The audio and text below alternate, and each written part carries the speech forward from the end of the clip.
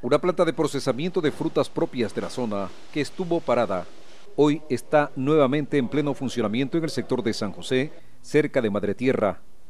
Antes se llamaba La Delicia, hoy tiene un nombre más sugestivo, Mishkiwasi, en Quichua, la Casa del Dulce. Como antes, ahora se sumaron algunos esfuerzos interinstitucionales para poner a caminar esta iniciativa que busca como objetivo final mejorar la calidad de vida de unos 1.200 habitantes, en su casi totalidad indígenas quichuas, que viven en 13 comunidades que están en la cuenca del río Pastaza. Está ahora eh, administrado por toda la Corporación de Desarrollo Social y Productivo de Madre Tierra, que están involucradas 13 comunidades indígenas en toda la zona que va de aquí, de, desde Madre Tierra hasta Santana, Puyopungo y acá hasta, la, hasta Putuimi. El Fondo Ítalo-Ecuatoriano, FIE, es un pilar donde se sustenta no solo económicamente el proyecto, aporta 345 mil de los 620 mil dólares que se invirtieron, sino también administrativa y operativamente. Nosotros estamos aquí contratados por el Fondo Ítalo Ecuatoriano por 10 meses y entre esos objetivos nuestros es a la gente fortalecer la, la parte organizativa.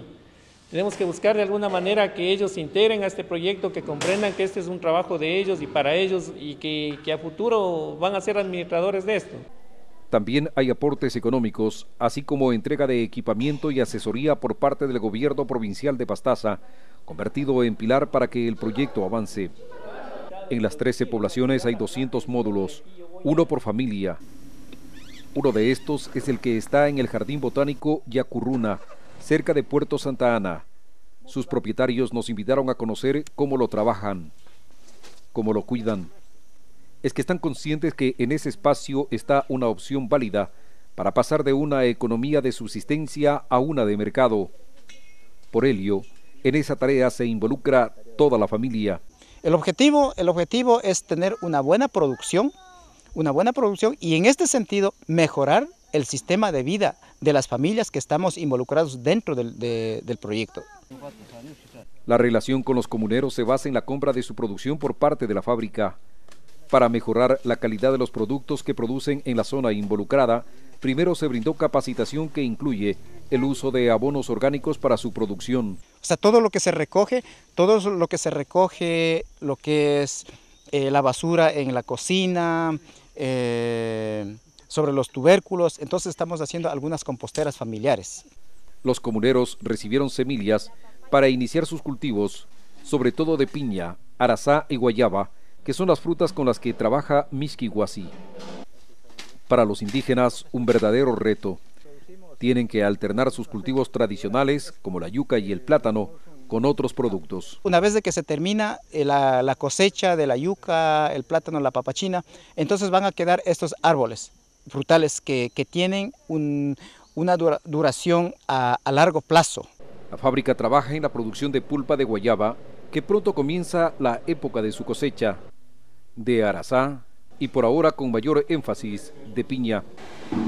Se inició con niveles aún considerados bajos, 100 kilos por día, cuando la capacidad instalada permite llegar a los 250 kilos día.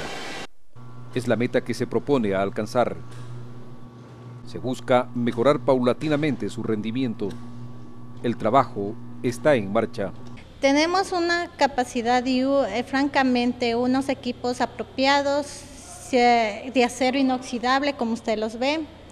Eh, estamos queriéndoles aprovechar al 100% y al mismo tiempo dando capacidad a la capacitación a las personas de la comunidad para que ellos mismos influyan directamente ya a esta manera de trabajo, es decir, a la planta, se hagan ellos mismos la posibilidad de, de trabajar dentro de aquí y tengan fuente de trabajo.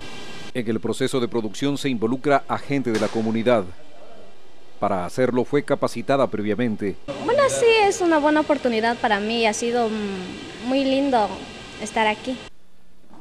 El proyecto está debidamente concebido, no se descuida ningún detalle. A más de los componentes de producción de la materia prima a manos de los comuneros, del procesamiento de la pulpa se da prioridad al tema de la comercialización. Un voluntario estadounidense del Cuerpo de Paz trabaja en diseñar un plan que permita conducir con eficacia ese proceso. Estoy haciendo un estudio de producción, estoy ayudando con las ventas. Eso es mi trabajo ahora. Ahora yo tengo tiempo de producción. Tenemos en producción una hora y voy a, voy a trabajar para ayudar, para mejorar, para hacer más rápido las producciones. Esas cosas es mi trabajo.